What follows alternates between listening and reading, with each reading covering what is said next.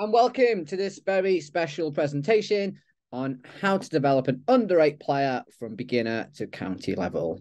My name is Steve Whelan from My Tennis Coaching. Hopefully, you've seen my videos before, whether on be on Facebook or YouTube. And yeah, welcome. It's Friday, the sun's out, um, and let's get into it. So, today's presentation, I have a couple of different learning outcomes. So we're going to look at and understand the challenges and opportunities at under eight tennis. It's quite a key stage of a player's development and a player pathway, but it does have its opportunities, but also has its challenges as well. So we're going to look at those. We're going to look at different coaching styles. So we're going to look at a direct coach approach and a constraint led approach. If you follow me on social media at my, at, at my tennis coaching, you will know that I'm quite heavy into constraint led coaching, game based type coaching. Um, that's not to say that I don't do some direct coaching as well, but we're going to look at the two different styles and approaches, and we're going to look at which I believe, in my opinion, is more effective at under eight level. And we're going to look at the basics of a constraint led approach because, again, I don't think people fully understand what a constraint led approach is or a game based approach is. Um, so, we're going to look at the basics of it. And I'm, I'm going to show you some clips of me coaching a player uh, recently using the constraint led approach or constraint based approach. So that's the the idea. It's going to run about 90 minutes. We are on YouTube Live. There was a lot of demand for this webinar. Um, it was going to be a closed webinar on my website, but I was just a little bit wary of the amount of people who were interested in it. And because I'm streaming videos and there's lots of coaches around the world, I've decided to stream it on YouTube Live but please do feel free to leave any questions or comments um, in the chat. I'll try and answer them as we go through. I do have someone moderating it for me as well, uh, so they may sort of ping back an answer. If I don't get through to you on the live stream, pardon me, what I'll do is I will record a, a separate video this week and get that out to you as well, answering your questions. Um, so I still want to be interactive as possible um, just I've never done such a big stream to so many people before. I just didn't want to do it, and uh, we had some performance issues. So, in terms of who I am, if you don't know who I am, Steve Whelan, I am an LTA performance coach here in the UK, and I'm also a coach educator. So you probably just see me there, dead center in, in that photo on the right hand side. Um, so I coach players, but I also coach coaches, and that was taken recently on an LTA coach forum. For those of you who don't know who the LTA are, it's the governing body here in the UK, the Lawn Tennis Association. So I go around and I do coach qualifications and coach continuous professional development workshops. And that's sort of my day-to-day job. Been coaching for 22 years. I've worked in big commercial centers, high performance centers, small parks, small clubs, big clubs, schools, you name it. I've probably coached in it and coached that standard as well. Um, I've been very fortunate to work in the under eight workspace for a number of years. And a lot of my players I've taken from complete beginners and they've gone to national level and then they've gone past me uh, and gone into sort of international tennis as well. Um, and that all started off in their journey with me. I never take credit for players' development. It's always down to the player. Uh, but I've been fortunate fortunate enough to work with some good players at the red level who have gone on to sort of Grand Slam uh, and international tennis. Not saying that's down to me, uh, but I do have a good reference point from where they sort of started out. So we're going to look at under eight tennis in, in great detail today. to me, it's the most important stage because if we get this wrong, we're always sort of firefighting and fixing things. If we get this wrong at under eight, when they go to under nine, they're going to struggle. When they go to under 10, they're going to struggle more and they're probably going to give up. Tennis is such a hard game. Um, and the great thing about mini tennis or tennis tens or LTA youth is we now have lots of modified equipment. So you can see there in the picture. Again, a, a very recent coach education workshop. We've got smaller nets, we've got slower tennis balls, we've got smaller tennis rackets. So we, this this is so great for our sport now because we can really constrain, with a word I use quite a lot today, the environment to help the players develop. And it, it is a really important stage, but we need to understand the stage. We need to understand the player of the stage. And again, I'm quite fortunate in my role. Uh, the picture there was taken on a recent LTA regional camp or state camp if you're in the in the state. So six of the best under eight players get together every quarter uh, and we train them. And I was one of the coaches on on the east of England uh, camps, and one of my players were in that picture. Um, so I'm quite lucky because I'm in this workspace. I'm working with some good players in this workspace. Um, so it's very important before we even talk about drills and how we make the players better that we actually understand what's in front of us. I think sometimes with with tennis coaching, especially, we we look at the top players and we try and get our little nine year olds or eight year olds to play like Nadal, to play like Raducanu. It's completely unrealistic. Uh, we have to work out work with what's in front of us. And so the first part of this presentation is to really have a little look at the player and the sort of stage and understand what what I call the the man to the game. So under eight tennis, mini red, red youth tennis, what uh, whatever you call it in your country, does have different challenges and opportunities. The first big challenge is the real limited physical development of the player. So these players might come in red at four, and they're with you for three, four years until about eight. An eight-year-old physically can't do what a nine-year-old can do. An eight-year-old definitely can't do what a ten-year-old can do. And an eight-year-old can't do what a 19-year-old professional player can do. So you've got to understand that their physical movement's going to be very limited. Like they're not going to be very coordinated. They're not going to be very good at throwing and catching, sending and receiving. They're not going to be very quick. The reaction skills are going to be quite limited and quite slow. That's a challenge because tennis is a very open game. If you ever watched any of my webinars before, especially the last couple on uh, tactics and technique, we talk. I talk about this quite a lot. Tennis is a tough game. You've generally got one and a half seconds to send the ball, and the ball comes back. You've got to be able to coordinate your body, move around the court, send an object back, also linking tactics and technique. And it's tough physically. There's a reason why the best tennis players in the world now are some of the best athletes in the world because of the physical demands of the game. And it's something that we need to bear in mind because sometimes we we try and teach very complicated movements to very inexperienced and very raw players and they can't perform the actions that we find very easy. They can't perform the actions that maybe a nine year old can uh, can perform. You may have two seven year olds who are physically different. One will be able to perform the action, one won't.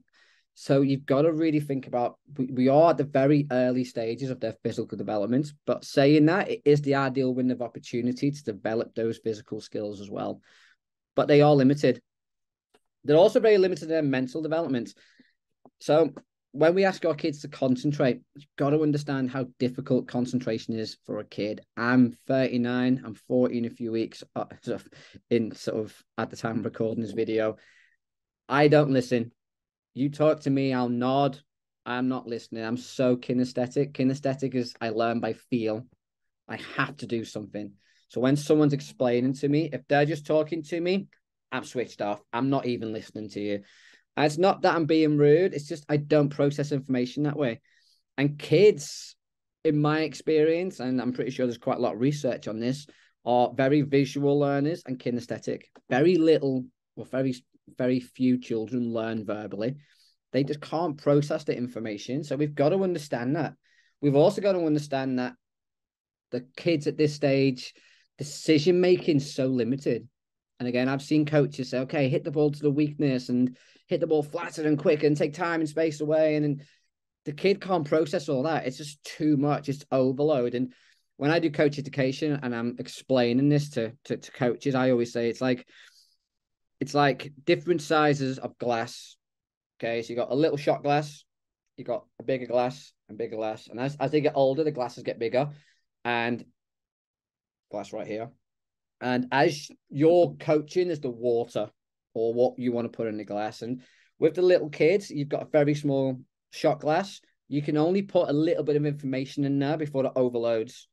So they may take in that little bit of information and all the rest of the knowledge you're pouring on them is just wasted. So you got your best quality vodka, you've poured a shot and you keep pouring it and you're wasting all that vodka. And if you're northern like me, you you are like a stiff drink, so it's a waste. Um, as they get older, the, the the the, glasses get bigger, and you can put more knowledge or, or, vodka in there. But you have to understand that they are really limited in, in, in terms of the information they can take on, but also the information they can process. They have limited time on court.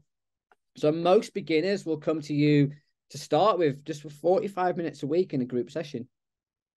And that's a challenge because if I go to gym and I work out just for 45 minutes a week, will I see progress? Not really. And if you're a very much old old school traditional coach who will line the players up and feed a ball, let's say that player hits, I don't know, 20 balls in a lesson. If I go to the gym and I do 20 reps on the bench press, am I going to see any progress? No, not really. It's going to take a long time for me to see progress. So we've got to make sure that we maximize that time on court. So if they do come to a group session for 45 minutes, they have to be playing tennis for 45 minutes. We we can't have them standing around and and waiting in lines or standing around learning how to balance. We've got to maximize the amount of time the racket's in their hand and they play. I always argue if it's a 45 minute session, they should be playing for 35 minutes tennis. And that includes drinks breaks and, and stuff like that. You need to maximize your time on court. But it is a challenge.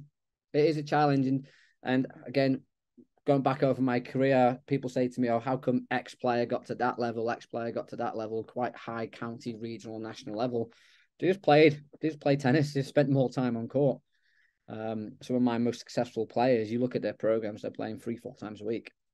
Not really rocket science. The more time you put in, the better you get. Uh, and obviously, it goes down to sort of quality over quantity as well. That's not to say if you did 20 hours on court, you're going to be great if you do 20 hours on court, it's bad quality. It's it's probably not going to be the same. But they do have limited time on court at this stage. And the coach's experience, I put a little, little asterisk there because, again, my experience, most of the most of the red sessions, under eight sessions here in the UK, especially, are delegated to the most inexperienced coach. So the new coaches who just come fresh from qualifications are given the reds because they're seeing it's the easiest sessions. It's the easiest sessions, and okay, you can take the Reds. And I think back to 20 odd years ago when I started coaching, I was given the Reds because I was inexperienced. But you look at it and and we'll look at some of the stuff today. It's it's probably the hardest stage because they can't play, they can't move well physically. They got very physical, sorry, limited physical development. They're limited mentally, and this inexperienced coach with no experience, no knowledge, or very limited knowledge is is tasked with getting these kids up to standard to play, and it, it's nuts.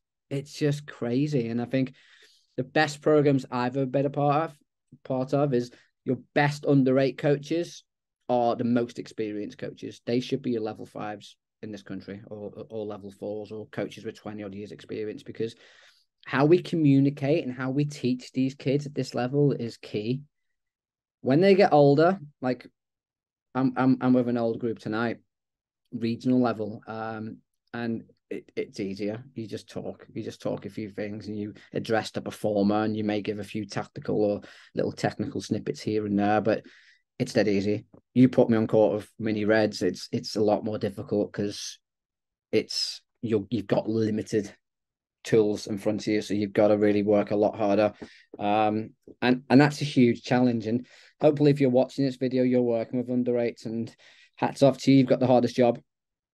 And it, it drives me mad when I go into clubs and I can see the new coaches get given the the reds and they're on the bottom court and the most experienced coaches up on the top court with the better players or older players. And it's yeah, it, it doesn't sit well with me, but that's that's my opinion. But we have opportunities though at Red. We have an opportunity to develop a love for the game.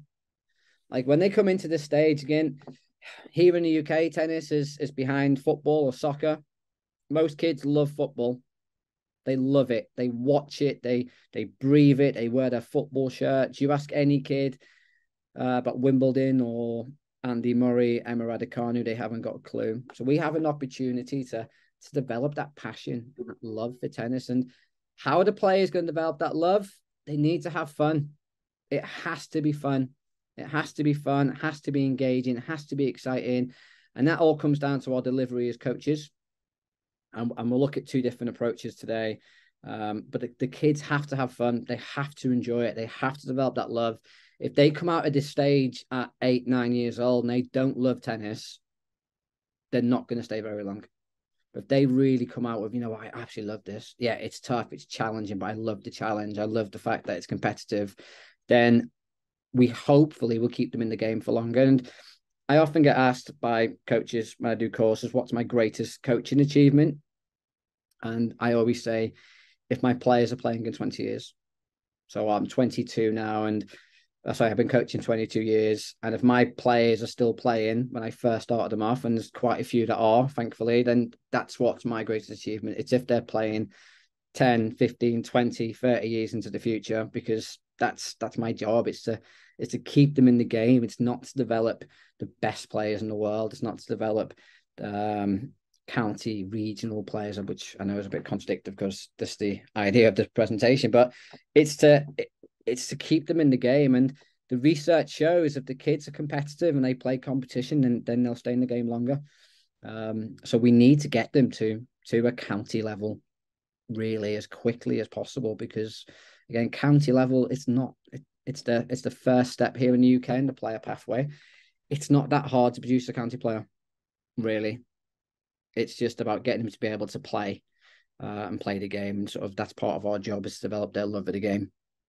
We've got to build strong foundations. So yes, the players are limited in terms of physical and mental uh, skills, but we've got to put down really strong foundations because if we don't put the, the right foundations down as they go through the age groups, those foundations will start to crumble and then we'll lose them from the game. So we've got to build them the mental skills, the head skills, the heart. They have to love the game, but then we have to develop the physical skills and then the tennis skills as well. The the the, the sort of tactics and technique. Um, if we get if we get those things wrong here at the start, then we're in trouble. And the great thing is, like like I mentioned at the start, we have modified equipment now. So under eight tennis, sponge ball, smaller court, lower net. Um, it's a lot easier to pick up and play. Going back to 30 plus years ago when I started playing tennis, there's a wooden racket, really dead tennis ball, massive court, rallies are few and far between. It, it, it wasn't that much fun. You probably spent more time walking and picking the ball up than you did hitting it. Now it's it's it's a lot easier to for kids to play the game that they see on TV uh, with, with with longer rallies and sort of serving and sort of returning. So that's a great opportunity for us. And it's a great opportunity for getting the parents involved as well. And some some people don't like the parents involved because they think they're too pushy. They only become pushy because they are lacking education or that they, they they've not been educated. So this is a great opportunity to sort of to sort of teach the parents as well and, and get off on the right foot. And my most successful um, relationship with players has been always strong with parents and having good communication with parents, parents involved in in a lot of the decision making, but also a lot of the the on court stuff, and the parents know exactly what we're working on and and how to communicate. Because being a tennis coach and being a parent are two completely different things. Um, how you communicate, how you feel, um, it's a lot more stressful coaching your own kids. If anyone's on this call who coach your own kids, you know that one, they don't listen to you. Um, and two, it's a lot more stressful than coaching other people's kids. So it's it's it's also an opportunity to get off on the right foot with the parents as well. So what's the goal? So we've got this very important stage, eight and under tennis. We need some benchmarks, and I'm very wary of outcome goals because I think every player will have their own journey. So I always sort of put some loose things. Okay. By the end of the age group, if my players are able to do these couple of things, I'm happy. I'm really happy. So, what are my goals for the end of the age group? What am I working towards? What are my sort of my benchmarks? We've mentioned it. They've got to love the game. They have to love the game. If they don't come out of under eight tennis with a love of the game, they're not going to last. And they've got to enjoy competition. Tennis is a competitive sport. It's a tough sport. Yeah. And, and kids want to win and they don't like to lose, but we need to teach them how to learn to lose and how to deal with losing. So a lot of the stuff that we'll we'll cover a little bit in this presentation, but also probably in, in future videos is we've got to learn we have to teach them how to learn to lose we've got to let them problem solve and we've got to put them into very difficult pressure situations because that's the game like if you play tennis now and you go on court with your friend, you're problem solving. When they hit the ball down the line, you've got a problem. What what are the solutions? How can you find your way out of that? If you get a short ball, you've got an opportunity. How can you deal with that situation? People watching you, pressure environment. Second serve, match point down, pressure environment. So we have to teach these players how to how to deal with pressure, but also how to bounce back with uh, with uh, resilience as well. And the play that I show you in the video today is is really difficult because he's so competitive and he wants to win every single point. And it was interesting because we did a session last night, which is which is not the one we filmed, and every time he made a mistake, he'd cramp up and his head would go down, and his shoulders would come up. I said to him, "What are you doing?" He said, "Oh, I made a mistake." Okay, so what we're going to do is head up, bring your arms out. He said, "Why?" I said, "Because when you scrunch your neck up and shoulders up, how's that feel?" And he says, "Oh, it's tight and awkward." How's it feel when you put your arms out and your head up? He goes, "Oh, I feel free." Well, that's it. Like, it, it's just deal with it. Like, move on rather than feeling tight and awkward and embarrassed. Because because you think about it, when you're embarrassed, what do you do? You try and hide your face, and he's making these mistakes and he's ducking his head and he's and he's he's almost embarrassed because he doesn't want to make the mistake. So it's almost allowing him to make the mistake. And I and I say to him all the time, you're allowed to make mistakes. You're allowed to make mistakes you probably you you're definitely going to make mistakes. But how you deal with that mistake. And last night was interesting because it worked. And every time he made a mistake, he threw his arms out, his chest went up, and you could see the difference in his body language. But we have to teach him how to deal with that and sort of become resilient to it as well. They have to be good movers. So we talked about this before. Tennis players are athletes these days, especially the professional game. But even at sort of club level, you've got to be able to move around the court. So we have to make sure our players have good agility, good speed and balance. We have to teach the game. So they need to be able to play in the three main game situations. They have to be able to serve, return, and play both back. At underrate level, very rare would a player go in and play at the net because of the speed of the ball and the skills themselves. Not to say you shouldn't do network in terms of volleys and smashes and stuff. I, I think you should introduce all five situations at this level, uh, but they're the three main. Okay, they have to be able to serve. They've got to be able to get the serve back, and they've got to be able to maintain the ball from the back of the court. In terms of what they can do tactically, consistency. So, can they be accurate? Can they hit with a good tempo? And can they increase their rally threshold? So, can they keep the ball in play? So, it's a bit more than just get the ball over and in. Okay, can you get the ball over and in, but can you be accurate? So, can you get the ball in um, hit the ball cross court, hit the ball down the line. Can you get the ball in, but at a good tempo, or are you just tapping it and floating it? Um, and then if you can do all those things, can you do it more consistently? And the players have to be tactically able to control space. So can they move their opponent around? And a big thing that I see a lot of coaches get wrong with this age group is they'll teach their players to use strengths, which is a common sort of tactic intention. Problem is, players don't know what the strengths are and you say, "Oh, well, my my, my player knows their strengths, their forehand." They're probably just repeating what you've told him. You've told them their forehand's their strength, or you've told them that the backhand is their opponent's weakness. But if you watch him in the match, how often do they actually use their forehand when they have opportunities to? How often do they really pick and attack the backhand? Very rarely, because at this age, again, that mental limitation is just just more aware of themselves at this stage.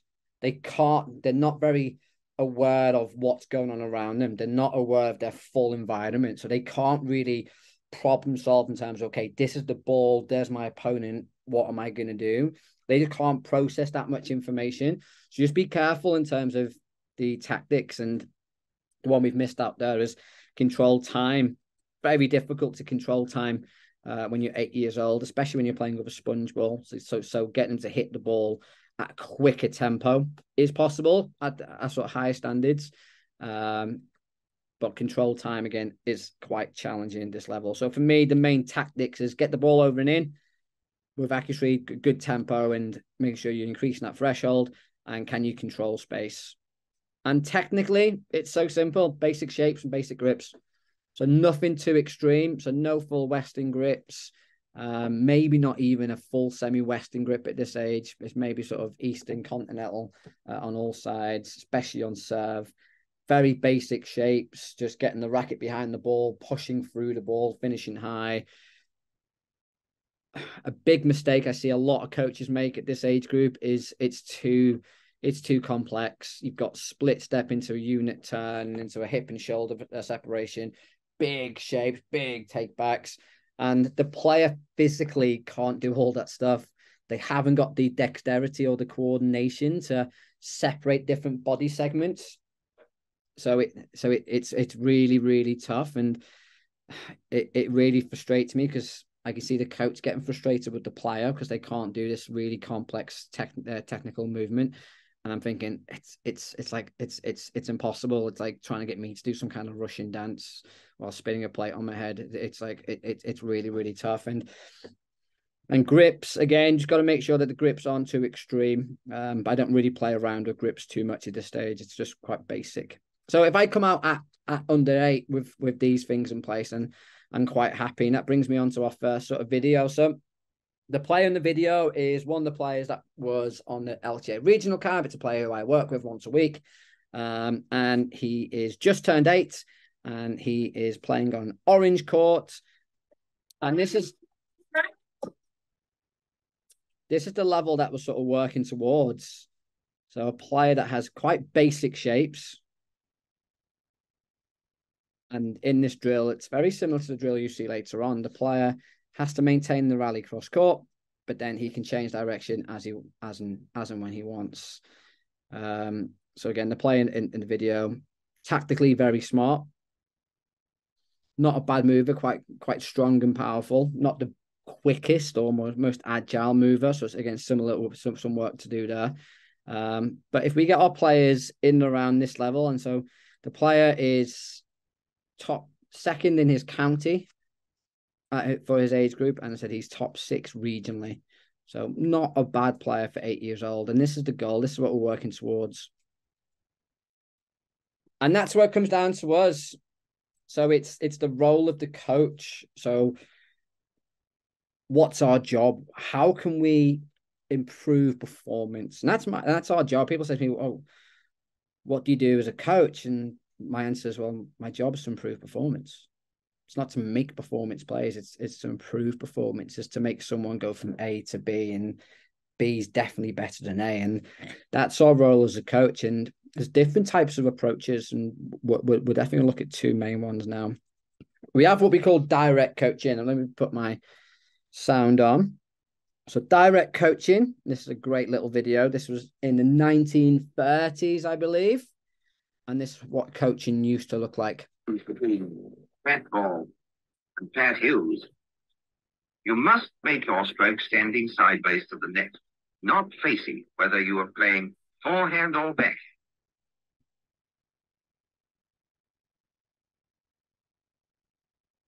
That's better. Let's try it again. No, he's forgotten already. Don't point your toes at the net. Have your feet parallel with the baseline. And get right down to the low ball with your shoulder towards the net and the weight of the body behind your stroke. This is the first and all-important rule of tennis. And although it looks simple enough, and is simple enough in practice, without the ball, it's quite a different problem in actual play.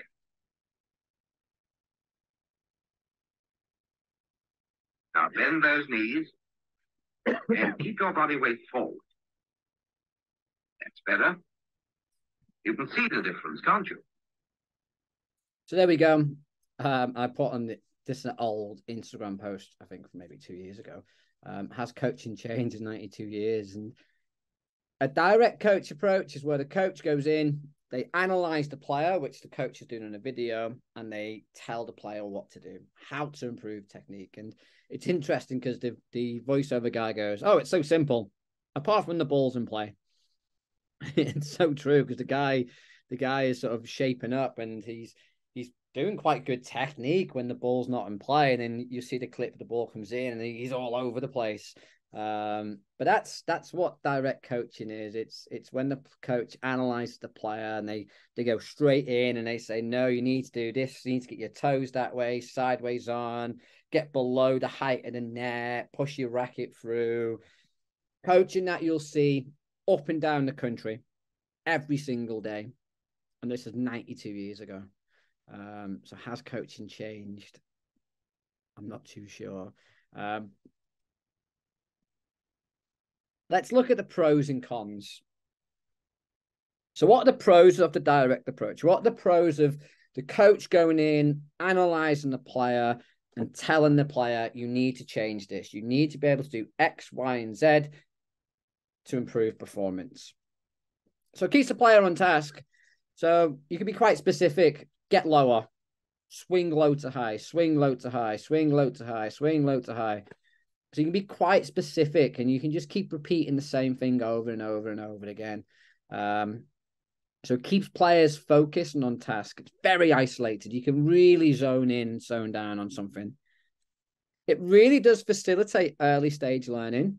So when a player really learns, you can really isolate the skill. You can just zone in on that path of the racket, low to high, low to high, and you can just basket feed that ball over and over again. Um, and the player will develop the skill very quickly doing that. And that's why a lot of coaching still happens this way because you'll see skill acquisition improve. Sorry, you'll you'll you'll see skill skill acquisition uh, increase quite quick. And I think I mentioned in a, in a recent video about the six challenges of coaches or coaching. One of the things we have to do is repeat business. We want people to keep coming back.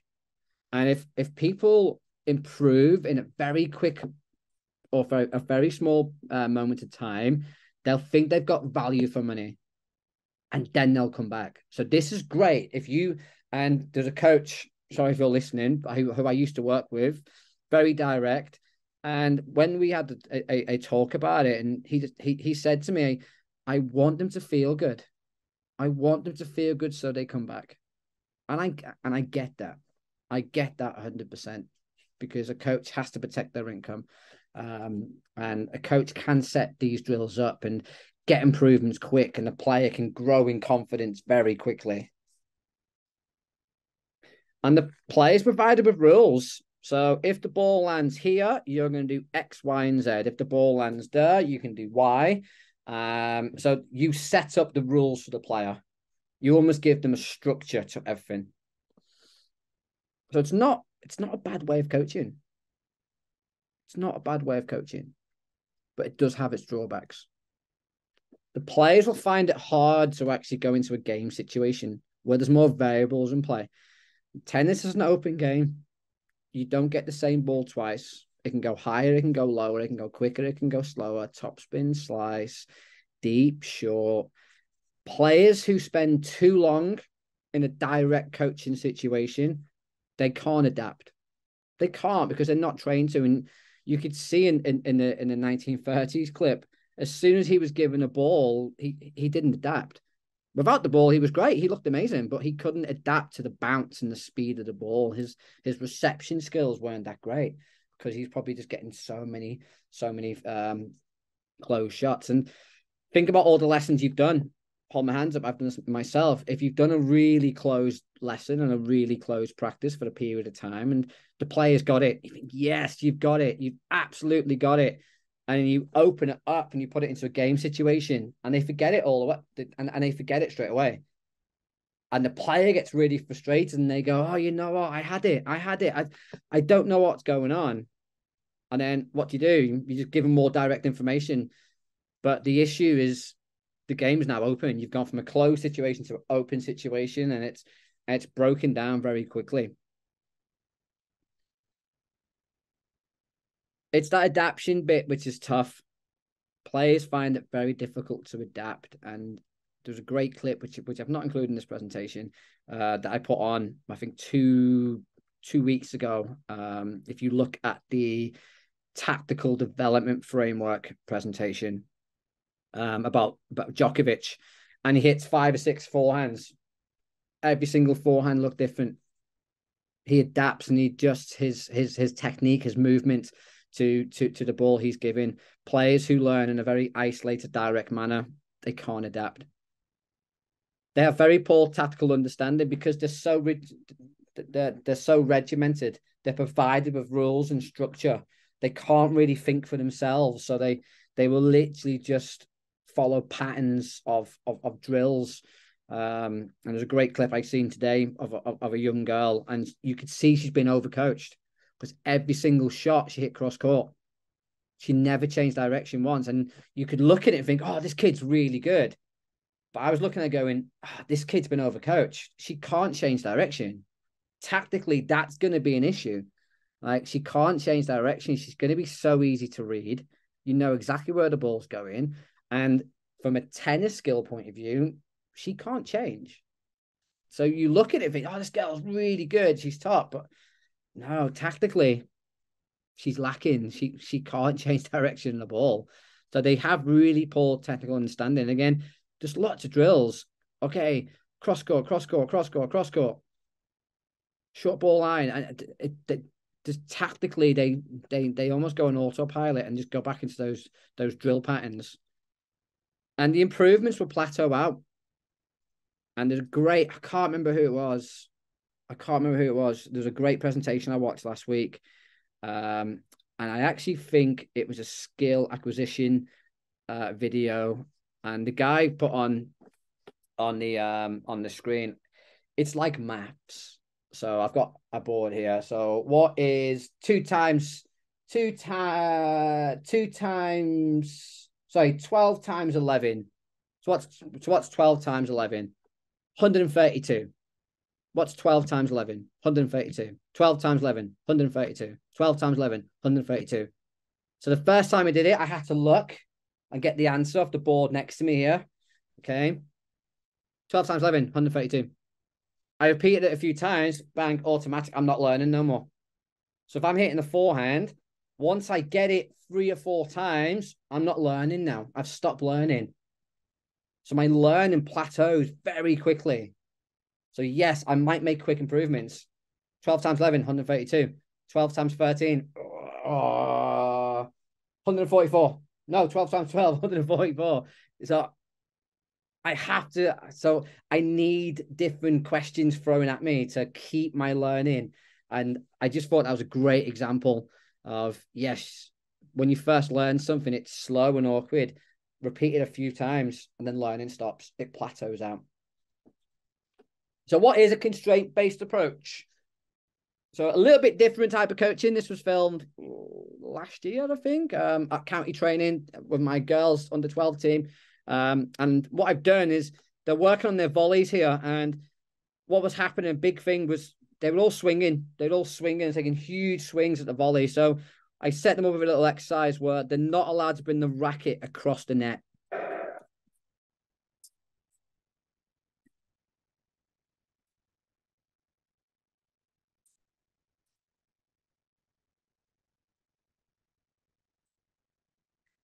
So I've constrained the drill. And if we watch it again, they don't take their racket across the net. And I think I will show this in a future video of, of how I built up to this and show you the, the, the problem of the girl swinging and then how I isolated it. And then when I brought it back into a game situation, the volleys were so much sharper. So I've constrained the activity. But what does it mean to be a constraint led coach? what are the pros and cons of doing it this way? Players will play the game or, or modified versions. Players develop better problem solving skills. So with that clip I just showed you, I put the players over the net. Is it realistic? No. Are they allowed to do that in a match? No. But I'm developing skill. I'm developing skill. I've put them in a situation where they can see and feel something, which is quite important, which we talk about quite a lot today. And uh, but I mean, they're just blocking the ball back. So they're, t- they're learning how to keep a racket in front of them and not take the racket back and swing. I've given them a problem. And, when I set them up, it was a case of, okay, you're going to go in this position. The racket's not allowed to come on this side of net play. That's the problem. So I, I showed them a problem. They had to solve it themselves. And they developed the skills as they went along. Practice will be varied. And and players will develop more versatile t- skills. So it's not closed. There's more there's more variables, higher ball, lower ball. It's a bit more open. It's a bit more crazy. Different things happen. Implicit learning. So the player will learn, and they're constantly learning because they're constantly adapting. Because even in that little drill there, the player might get a ball straight out the body. They may get a ball higher, may get a ball on that side. So they're constantly learning to adapt and change. It's not just hitting the perfect volley eight times in a row. Yeah, she's constantly having to adapt and adjust, um, and that's and that's making her learning constant. And research shows if you if you go into Google after this presentation and just Google constraint based coaching, constraint led coaching research, there's so many papers out there, and it shows that the players who learn in this type of activity develop and play better under stress people talk about Barcelona Football Club a lot, um, especially when in the glory is not so much these days. We've got no money, and they, they, they were they were seen as a very technical team, technical, amazing players. Technique was unbelievable. If you actually look at how they trained, they didn't do any technical coaching, none. So at the not the Mestalla, I can't remember the name of the uh, of the Barcelona academy, but at the Barcelona Academy, what, what do they do? They constrain practice three versus three, three versus two, five versus three, where the three have to keep the ball. They develop technique in pressured situations. And the players had to adapt and adjust based on a scenario. That made them very good technically because they had to find a solution to the problem they presented. Three forwards or three defenders against five pressing forwards. We've got to keep the ball. And that's why they were unbelievable for years. They could literally pass the way out anything, little triangles and pass the ball around because they just did it in training. And they didn't spend hours, okay, get your foot in this position to control the ball, open the heel, get the toes facing that way to send the ball. That none of that stuff. It was all constraint based coaching. But what are the cons? It could take time. It could take time. And this goes into the individual. And we are going to look at this in more detail as we go through this presentation.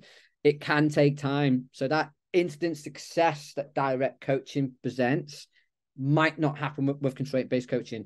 It could take minutes, hours, weeks, months to really develop the skill. But the question I'd throw at tennis coaches watching this presentation are we in this for the short term or the long term? Hopefully, your answer is the long term. That's all we ever say to parents. Oh, it's all about the long term player development. It's about playing well in 10 years.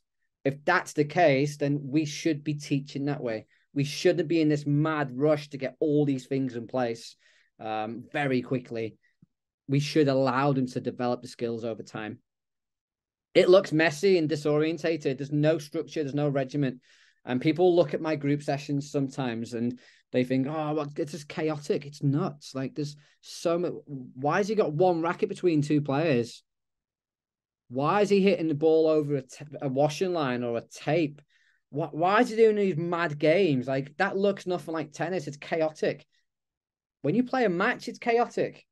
The ball high, low, quick, slow, fast, top spin, slice. Like it's nuts. A tennis match is messy short rallies.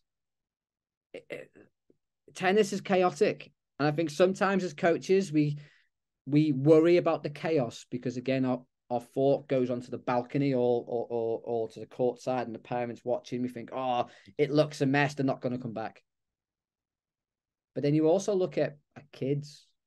Do kids like regimented stuff, or do they like messy and craziness and fun and lots of activity? They want the chaos. They don't want to be stood there and told how to hit this perfect shot. They want to get involved and explore it themselves. The kinesthetic learner will want to come out. You only have to go to a playground and the kids like it's it's chaos. Go to lunchtime at school. It's nuts. It's chaos. So these kids are playing lots of these different games using their imagination. They're not all sitting there regimented and talking through how to how to do something. It, it, it it's nuts. So don't worry about that. But I understand the peer pressure of it. Look at messy and chaotic. But that's where you have to work with the parents. Like I said before, it's opportunity get to get off of a good foot with the parents. Sometimes we can constrain it. We can put rules and stuff in place, or we set activities up, if they're too easy or too difficult for the player, then they can become disengaged. Um, and it's always that fine balance of, of looking at what's in front of you. Okay, how can I manipulate something to get the result that I want without damaging the player's confidence, but also keeping them focused as well. So, which is best? The truth, it's a mixture of both. Yeah, it's a mixture of both. I think with some players, you may have to be a bit more direct. Some players might want you to be a bit more direct. In my experience, especially with the under 10s and definitely the under 8s, a constraint based approach is best just because kids don't listen. They really don't listen. And to be honest, they don't want to listen. Most of them don't want. Some might, again, individual learning style. Uh, you sort of have to work that out for yourself. But but but they want to learn and explore. You only have to go into a preschool or go into a primary school and look at and look at their school activities. It's all about exploring and trying things and trial and error. And, and, and that's that's for me the key to under eight tennis. It's it's giving them the opportunity to explore themselves and express themselves and find their own way. As they get older, you can be a bit more direct. Yeah. And I I always say that my constraint uh, my constraint led approach is me um, pushing the player towards the answer. Sometimes when I go direct, I've got to pull them, and it's that constant push pull. But I'm pushing more than I'm pulling at this age. As they get older, might be a bit more direct. I can give one of the one of the county regional players tonight a little bit more direct information, and they'll process it quick. Yeah, got it.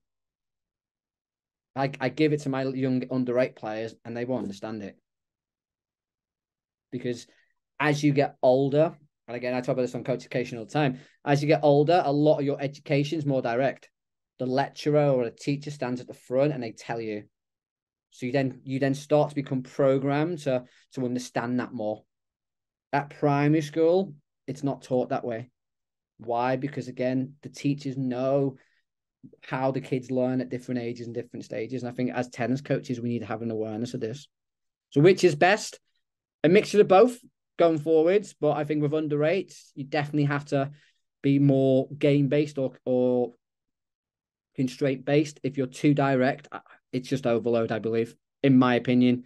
If you've done it that way, it's worked for you. Absolutely amazing. You're again great coaching. I, I think sometimes I have have conversations around this all the time. It's if you can get them there using that model, absolutely perfect. Again, I'm not here to preach. I'm just here to give my opinion um, and just share with what what's worked for me. It might work for me. It might not work for you. That's the art of of coaching. That's the art of life. We all have our different journeys and different pathways. So, how do we actually use this constraint based model? So, we have the coach in the middle. So, constraints mean just manipulating or modifying three main things. We can we can manipulate and modify the situation. We can manipulate and modify the game, and we can manipulate and modify the player. The situation may also be called the environment, by the way, so the court. The game is is the rules or the task, and the player, well, the player is the player. So your job as a coach is you're constantly analyzing these three things, and what you have to do is is change one or maybe two of these things to get the desired outcome that you want. And we're going to look at that in greater detail now. So let's look at each one, the player. So what can we change with a player? So a few things we have to take into, into consideration is the psychological factors. So players' maturity, behavior, motivations, and emotions must be must be considered. So we talked about this quite a lot we're quite limited at this level in terms of what the player can do. So we have to take that into consideration. So when we manipulate things, we can't make them too complex. We have to give them some guidance. We have to give them some focus. Um, we also have to, and I say this all the time, my job is to guide the player, not to tell the player.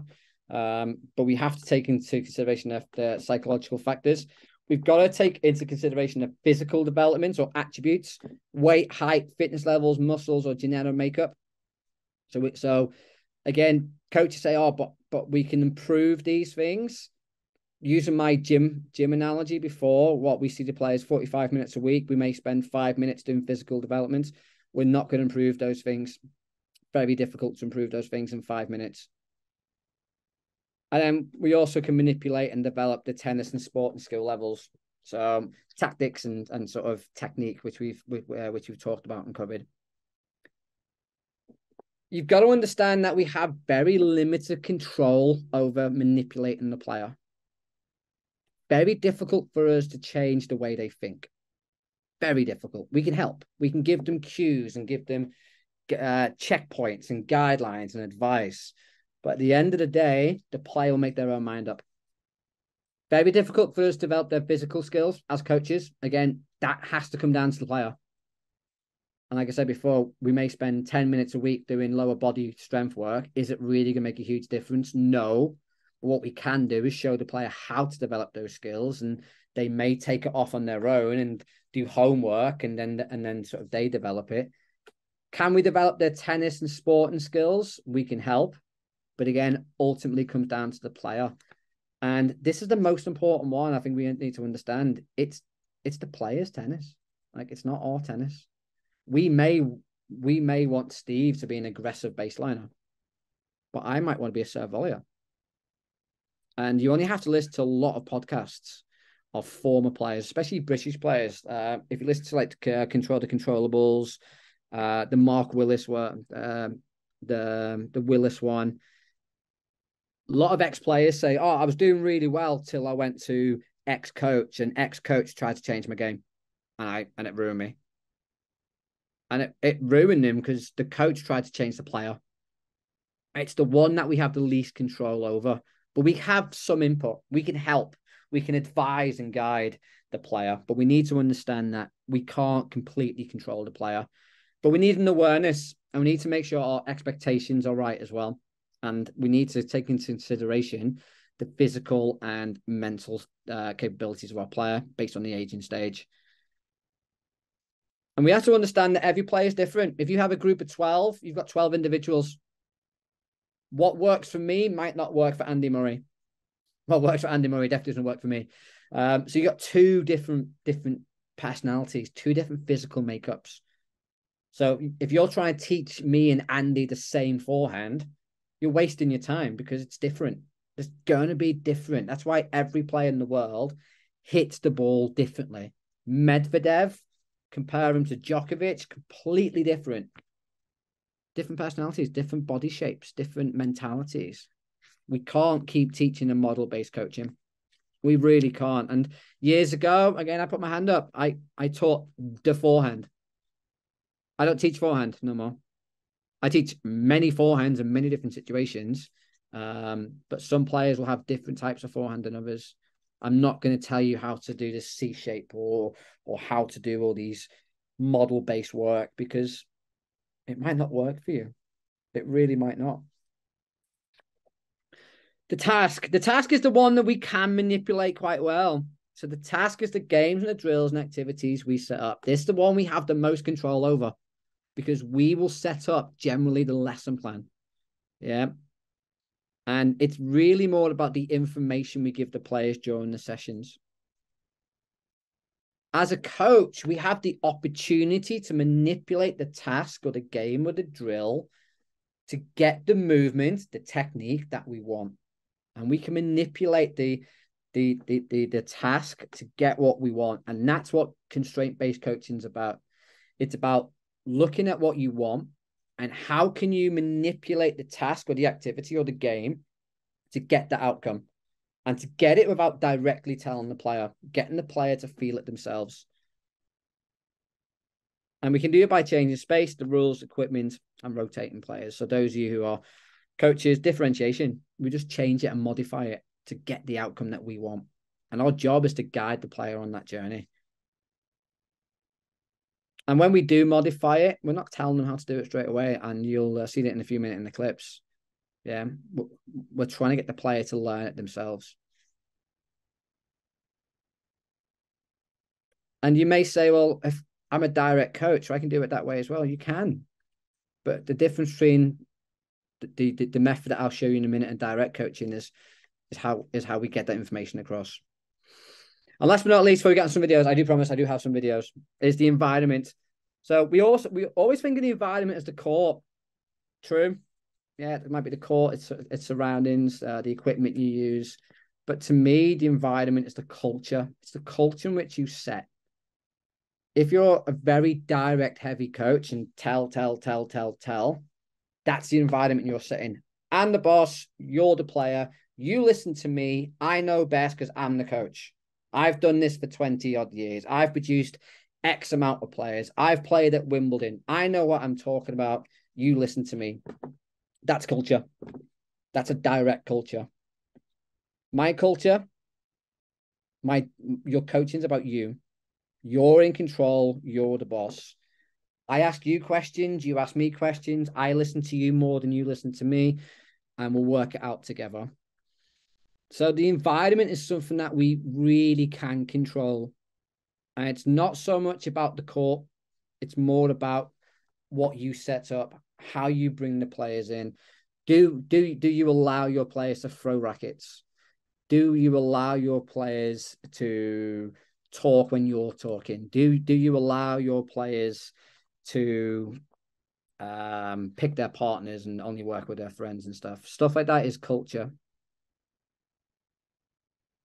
And don't forget, we need to really think about how our culture impacts players.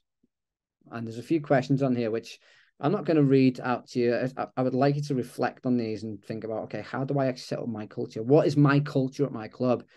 Do you actually know what your culture is? Like, what are your values? What what what really do you bring out? For me, teamwork, respect, accountability, responsibility. Like, I never put my kids into groups. Okay, groups of three, go. And you'll stand there looking at me. No, accountability, responsibility, make make decisions, work with each other. Group of three, but different partners, go. I'm not gonna go one, two, three, one, two, three, one, two, three. I want it to be independent. My players set courts up, they set the nets up, they they they put the equipment out, they set targets, independence. That's the culture that I that I create. And that has a massive impact on learning and development. We also have to think about external factors, parents, peers, governing bodies. If their values and culture don't meet yours or match yours, then you're in trouble. And there's an interesting conversation on an LTA performance um, workshop two weeks ago about parents being on court and some coaches saying, I don't want parents on court, nightmare. Don't want them listening in. They get involved and, and sort of um, they put lots of pressure on stuff. The issue with that is if you separate the parents from the player, when the player goes off the court, the parents will be hitting them with lots of information. Bang, bang, bang. I seen this. Da, da, da, da, da.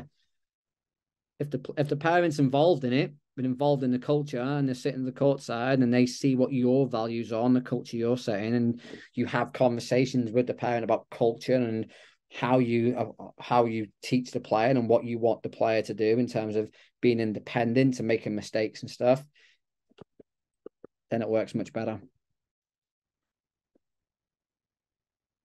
And a lot of the stuff we can we can set up drills. We can set up drills all day long. But if the culture, if the environment's not right, does it really develop learning? And this is an area I think we need to understand and develop better as coaches in terms of culture. Um, and at the minute, I'm sort of reading a lot on emotional intelligence I really sort of recommend that if you're a coach and you really like this type of stuff, look into that as well. And what type of learning environment do you set up and encourage and support? And how much does your learning environment and how you how you approach coaching does it facilitate learning or does it hinder? Is your style, is your culture, is your environment actually doing more harm than good? Again, lessons to reflect on. And these are the lessons, sorry, these are the reflections I come away with every night. Did I set the right environment tonight? Did I communicate in a way that developed learning? And sometimes I come off and say, no, I set the wrong environment. There's the wrong tone tonight. The way I came across probably didn't help. And it's it's just it's just being human. Sometimes we we we don't get it right, but we have to think about it. Right. So now to the good stuff. So we're going to look at a couple of clips, and these are real life clips. Let me give you a little background to the player. So I've been working with the player since Feb this year. So what, eight months? When I first started working with a player who is so six now, they were five when I started working with them. Um, very competitive, hates hates losing with a passion. I mentioned before, if he makes a single mistake, his head drops and he gets very angry. Um, he also has a tendency to feel like he needs to make excuses. So he'll make a mistake. And I can't remember if it's, if it's in the clips here or not. Um, that a lot of the time, oh, I didn't understand. Oh, I get it now. Oh, and a lot of that is he's he's scared. He's scared in case I start having to go with him, and which which which which which which is which is never the case. Um, I think part of it because he's super competitive. Um, when I first started working for him, he had no backhand, couldn't serve, pretty good at the forehand. Um, and in the session, which I'm going to show you, uh, and you see on the screen now. So the task is simple. I say simple, nothing's ever simple in tennis. Split the court into two. You got red side on the right, blue side on the left. We're in a cross court battle. So we're going forehand to forehand, red to red. He can change direction at any point. So he's the controller. I'm just the reactor. I can only hit the ball back to him cross court. He's in control of the rally. At any point, he's going to change direction. And what he's done down the far end is he's put a cone out and he set that cone himself. And, and he said he wants to get the ball between the cone and the outside line to make it difficult for his opponent to run to. So quite smart, to be fair. He, he, he didn't put the cone right in the middle. He understands that he's got to make me move from that corner to the other corner, so it's a, a harder shot. Um, so what am I looking for in, in sort of when we start this? So when I first demo it, and unfortunately there's no there's no audio. Well, there is audio, but you can't hear because there's lots of lessons going on around me, and um, even if I was mic'd up, you just get lots of background information, um, which which is not ideal. So I I basically said to him, okay, we're going to rally cross court, red to red. You're the controller. I want you to change direction. Once you change direction, we play the point out. And that's all the information you give to him. Red to red. But when you go to blue, we can play the point out. And what I'm looking for is when does he change direction and how? So go go back to the girl before, funny enough, which which nicely ties in. Um, I want him to be able to change direction of the ball tactically. So I don't want him just to be grinding the ball cross court, cross court, cross court. I want him to, when he gets the opportunity, change direction. And he's and this is the first couple of points. So he's going to go red to red. And he, he's so interesting. Like most players, he changes straight away.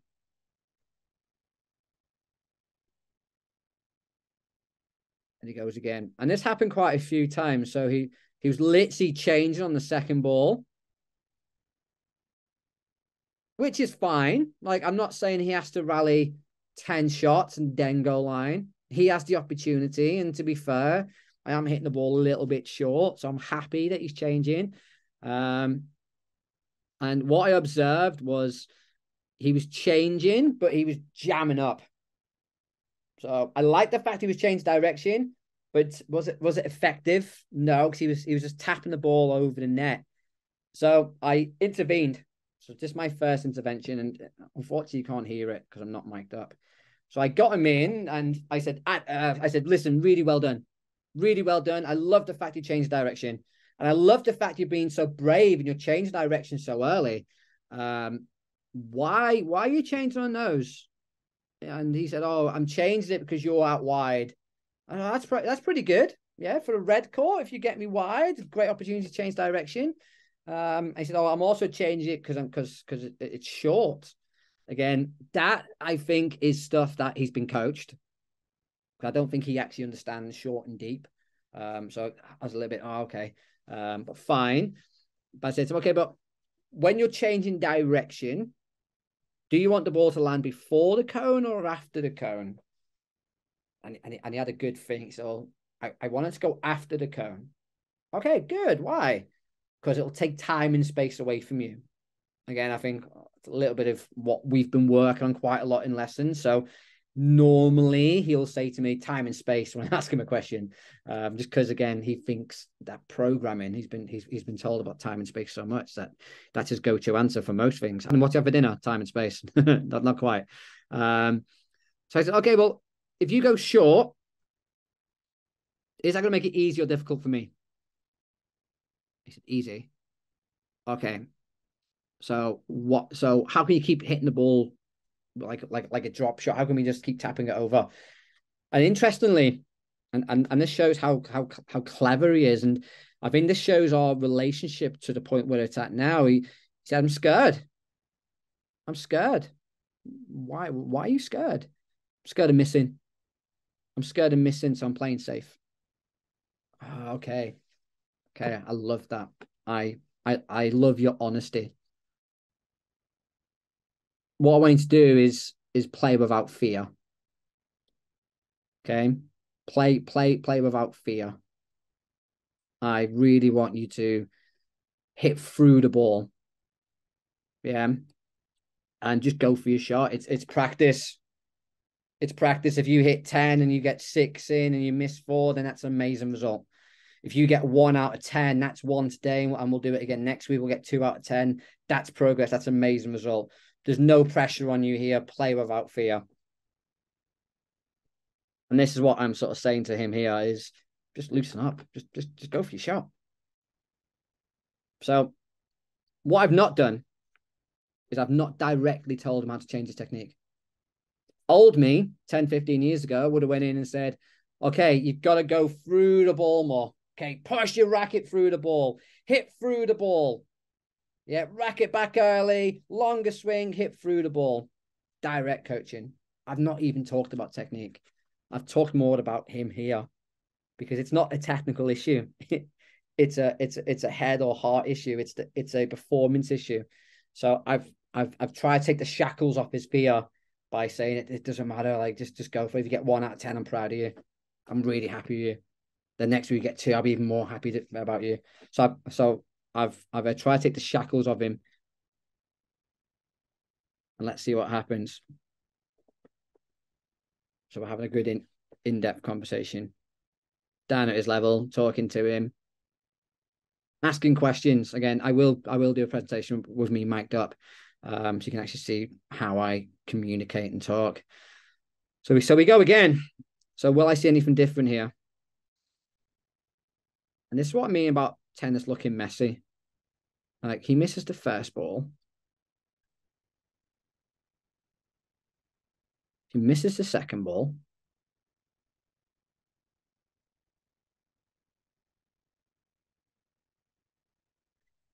He misses the third ball.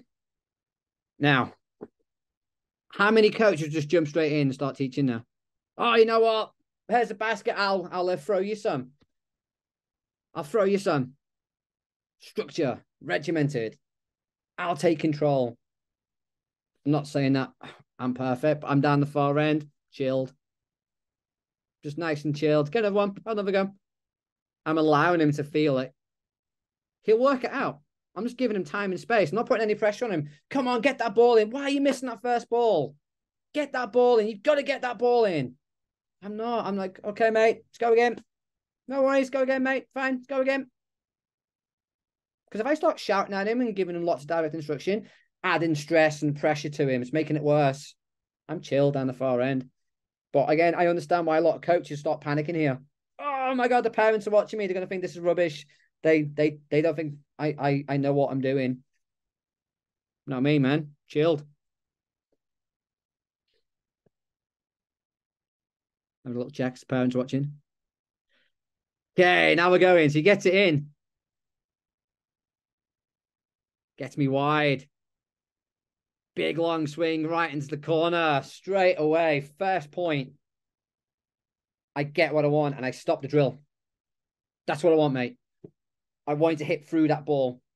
I want you to be confident and go through it. Proud of you. That word proud is so powerful because that's all the kids want. They want they want you, the coach, to take an interest in them. They want you to be proud of them. They want the parents to be proud of them. I say it all the time. I'm proud of you. I'm proud of how hard you're working. I'm proud of what you're doing. I'm so happy to be working with you. It's not lies. I am proud. Like that's a hard shot. He's he's literally gone down the line. He's hit the corner of the court, and he's done it after making two mistakes, three mistakes. So he's missed three balls in a row. Yeah, and he's done that straight away. Proud of you. Bang, straight on. Did I look at all the stuff that went wrong? No. 10 years ago, would I? Yeah, 100%. He definitely would have been getting basket fed 100 balls there. Yeah, and then and then we re, and then we repeated that a few times. Okay. But I wasn't quite getting the result I wanted. So what was happening was he was changing direction, but he was changing direction with really high ball. So he was going really high. Um, and, and the problem was he was just giving me too much time. So even though he was changing direction, which was great, which is what which is what I wanted, it was it was too easy for me. So I wanted him to go a little bit lower and a little bit flatter with his technique. Okay, so now I'm thinking about the game. Yeah. So what I did, you might be able to see on the screen, is I've literally placed up some barrier tape over the top. So now he has an option. He can go over the tape if he wants, or he can go under the tape. And what I want him to do, which I haven't told him by the way, I want him to go cross court over. And then when he changes direction, I want him to go lower and flat and go under. That's what I want. Because that's how I want to play. Trade cross, create the space, get the opportunity, go flat and go down the line. I haven't told him that, but I've just set up the court. So I'm constraining the task here. I've put something up to give him something to think about. This is quite a long clip. I think it's about three minutes. So this, so this is the first few points. So again, I've told him, and the great thing here, which I absolutely love, he's asking me questions. He's asking me about, okay, what, what? I can go lower. I don't have to always go high. Oh, okay.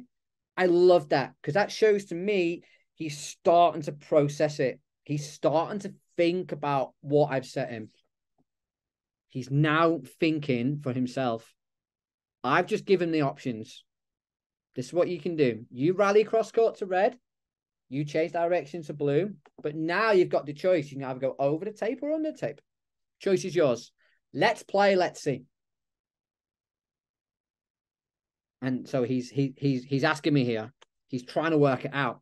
I love it. Again, not getting frustrated. I'm letting him speak. I'm letting him talk. I'm listening more feed the ball in, we play the point out. So he goes over straight away.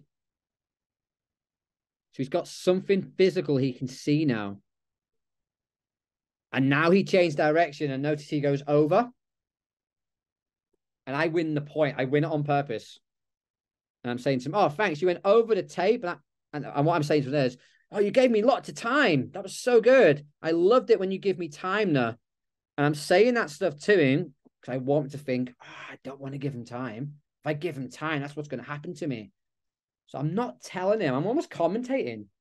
Okay, Adam goes high over the over the tape. Steve's got lots of time. Steve's got so much time he can smack the ball and win the point. Yeah. I'm commentating. I'm bringing awareness to what's happening. I'm not telling him. I want him to work it out himself and you can see you can see the little clogs turning. So now he goes under straight away. He goes over it again. Steve's got lots of time. Big backhand into the corner. Come on, vamos. And again, explaining to him, I had so much time. I could move. I could set up and play. Oh, that's interesting, isn't it? Not telling him.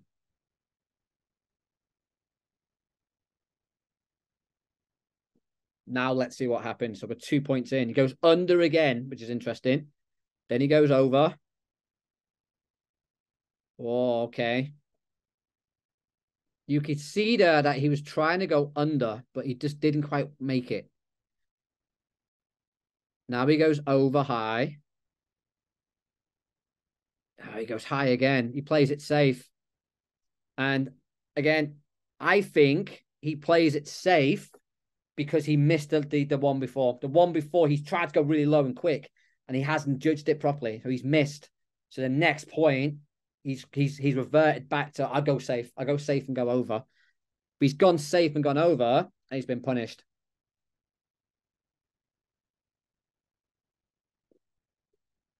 And this is what I'm saying to him here. All right, easy. Had loads of time now. How can you make this more difficult for me? Okay, he's gone over. Oh, okay. Now he's starting to go lower. He so he went straight away lower. He's starting to work it out. He's gone higher. Short ball. He's gone lower and he gets a net cord. And look at the celebration. Okay, he's now worked it out. So this has taken what? Three, four minutes.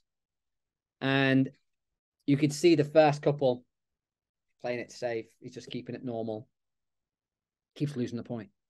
Every time he goes higher, I'm making him making him suffer, but I'm making him lose. I'm winning the point. I'm making him lose the point, and then we're talking about it. Last couple, he started to go lower. He hit the net in the first one, got a net cord on the second one, but he's now clocked it. He's now clocked what he needs to change. So he, he goes lower straight away because again, without knowing, without getting inside his head, I think in his head now he's thinking, if I go low, it's gonna make it more hard. It's gonna make it more difficult. But he's realized that he can't go too low.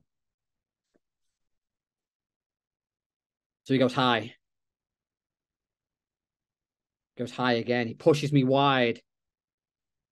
Then he goes low down the line and deep. And I miss on purpose. And then, yeah, that's it. That's it. And he did that three or four more times, and I was made up.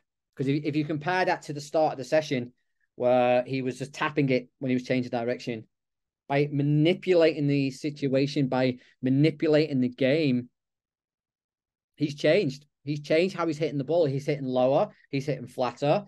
And is it is it perfect? Absolutely not. In a few weeks' time, will it be better? Absolutely in six months' time, will he be even better?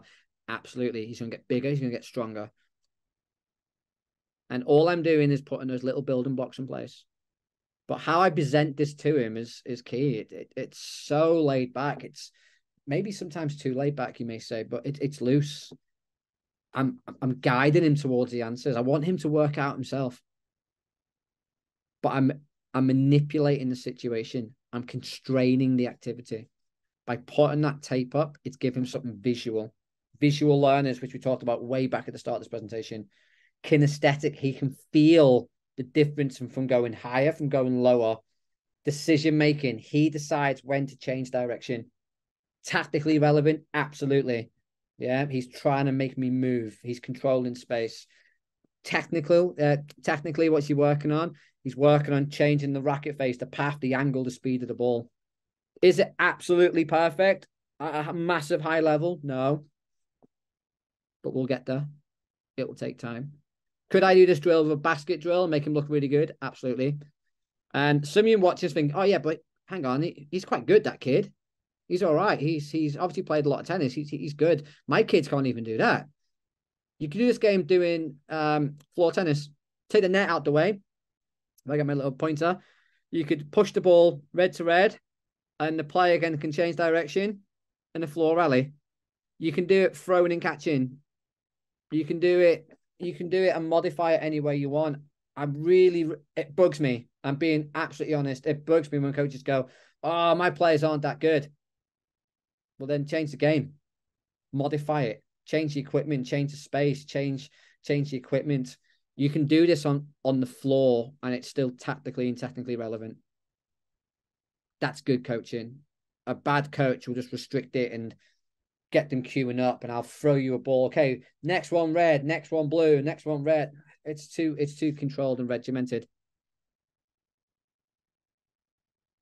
It's it's given them the opportunity to explore and develop their skill set on their own.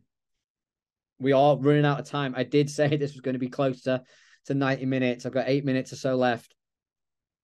So Key takeaways for you in terms of how I teach, how I teach this constraint led approach. Again, it might not be for you. You might be happy doing your basket feeding and your and your direct coaching, and you may produce lots of players. And hats off to you, because I sometimes I don't think it's so much the approach, but the relationship that you have with the player. Yeah, if you've got a really good relationship with the player, that direct approach can work as well. It, it said to me, this is this is how I find coaching fun. To me, from 20 years experience doing both approaches, I've done both. I've been that direct coach, that basket fed coach. I've done this coach. I I feel my players enjoy it more.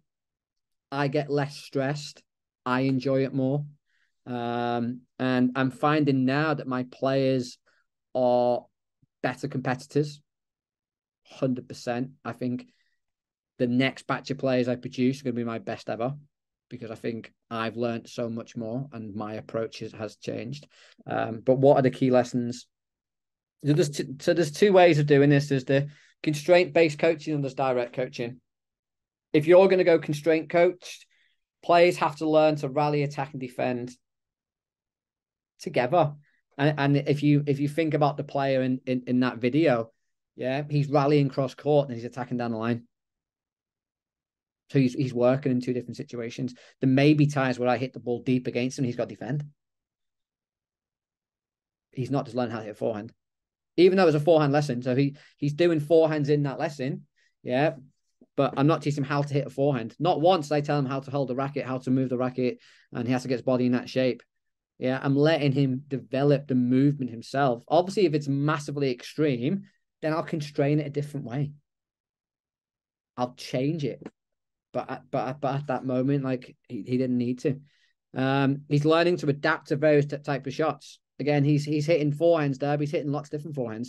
Some forehands are high, some forehands are low, some forehands are short, some forehands are deep. He's central, he, he's central, he's out wide. He's adapting to hit that forehand in different areas. He's making decisions. He decides when to change direction.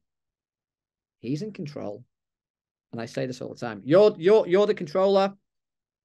But me, I'm I'm the reactor. He's in control of the rally. He's being proactive. And he's playing tennis. He's playing the game.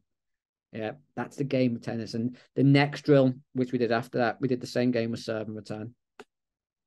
So serve, go under over the tape with the serve, up to you, and then sort of play the point out. And that's different than direct coaching. It wasn't just how to hit a forehand. I didn't tell him what he can't do. Yeah. So when he made those three mistakes, I didn't jump straight in and say, No, what you doing? You've got to do this. Stop missing, stop making mistakes. I ignored what he can't do. When he did it, I stopped it. Yes, that's it. Because, and I reinforced I didn't ask him to hit perfect shots. Don't be perfect. Yeah, adapt, change. He had lots of input in that session. Again, I, I, I there will be a future webinar where it'll just be me on court with the player and, I, and I'll and I'll wear the mic, and you can see how little I talk, or if I am talking, I'm asking questions. I'm asking questions. I'm getting their opinion and getting their input. I want them to think for themselves. I also want them to share their ideas because he may feel that he wants to go line on a very deep ball and he, he may make it all the time because he might have great hands. Who am I to say he can't do that? It's it's it's his tennis. And we said this before, direct coaching, very difficult to perform under pressure because you will feed the perfect ball. You will make them feel good. You'll make them look good. And that's the difference they, and I've said it a few times in this presentation. A good coach will use both. Yeah, they'll push, they'll pull, they'll use constraint based stuff, they'll direct when they need to direct, and sometimes you've got to be a bit more direct, and you will find yourself transitioning out the two. For me, it's probably an 80 20 split. 80% of the time, I'm constraint based, 20% of the time, I'm, I might be a bit more direct. Um, just try it. Try it out and see how it feels. And I think and I believe that constraint based coaching is is a lot more difficult because you've got to be patient. You've got to know what to say, when to say it, and how to say it. And that's tough. Direct coaching is dead easy. Just go in, bang, bang, bang, bang, bang, information, information, information, information, information, information. And and you'll and if you go to your club or or center to, tonight or, or this week, listen to the coaching. Low to high. Turn your shoulders. Turn your shoulders. Turn your shoulders. Turn your shoulders. Bah, bah, bah, bah. Just direct information. Dead easy. Yeah, there's there's some coaches I worked with. You could probably record one lesson and then play it for the next six, and it'll be the same information being played for the six lessons, just to set like like on a loop. Turn, turn, turn. um, constraint based coaching is tougher because you're you're constantly analyzing and you're constantly thinking about what to say. And sometimes I ask the wrong question, sometimes I frame it the wrong way, and that's part of my learning process as well. And it, it makes it challenging for me because I don't go in there with a script because you don't know what's in front of you. They may have a great day and they're so engaged. Last night with the same play, I turned up and he was he was tired and he had a bad day at school and it was a lot tougher because I had to really change the way I approached it a little bit in terms of the the learning and and and and, and the talking and the question and answering. But I'm going to leave you with two final things, and these are sort of two things. These are my two philosophies at the moment, which I'm really into. And if you are on Instagram at my tennis coaching, you probably would have seen these over the last couple of months. Technique on its own is just a movement. That's all technique is. Technique is a movement. You move your hand from A to B. You move the racket from A to B. Technique plus pressure equals skill. And that's what we're, we're developing tennis skills. We're not developing perfect technique. We are developing tennis skills. And we need to develop those skills under pressure. And that's the key to constraint based coaching. It's getting them to develop those skills under pressure. And guess what? When they go and play matches, they'll be able to replicate that skill. Um, there's there's a great conversation I had with a coach the other week, and they were saying, "Oh, all my best players are the ones who compete, so I need to get everyone to compete." I said, "Great, yeah, competition, all for it." But I said, "But why do you think they're your best players?" He said, "Because they're competing, so so they can play under pressure." I said, "Yeah, true." But have they developed their skills in your training session or in that comp or in that competitive environment? Oh, in my training session, probably not. They develop those skills in the competitive environment under pressure, and that's why they're so good because they've gone to a tournament and they've adapted to the to the environment, to the task, to the opponent, to themselves. They've adapted and under pressure, and they've done it so many times. They've played so many tournaments that's why they're your best player. They're not your best player because they come eight sessions a week. And you and, and people watching this presentation now, you have a player in your program who trains all the time but never plays. And they're really good. They're really good in drills. Put them in a match situation, they fall apart. Why? Because they've learned in isolation. They've learned without the pressure. And this is this is my thing that I really think about every day is the game is the teacher. I'm not the teacher. I'm the coach. Tennis is the teacher. Yeah, tennis will teach them everything they need to know about the game. 25, 30 years ago, I didn't have a tennis coach. How did I learn how to play tennis? Oh, I play tennis. I just played with my mates. We set up US Opens, Wimbledon tournaments. We played lots of matches. We found ways to beat each other. The game taught us how to play. Didn't have a coach, uncoached. The court's a learning environment. Goes back to what I was saying before, how we set the court up in terms of how we present information. Yeah, that's that that that's a learning environment. Our job is just to facilitate. It's to bring it all together, bring the player, the environment, the task together, and we just help the player on that journey. Our job is not to tell them how to play the game. Our job is to help them play the game. And we do that by sort of guiding them with our information and our knowledge and our experience, by using the environment and letting them play play tennis. Okay, so hopefully we are just over 90 minutes. So that I've served me two couple more minutes. So hopefully we've got a better understanding of the under eight opportunities and challenges. We've had a look at direct coaching and constraint led coaching, and we've understand the basics of the constraint led approach. And we've had a little look at some real life examples, which is, I think, is always good and always powerful.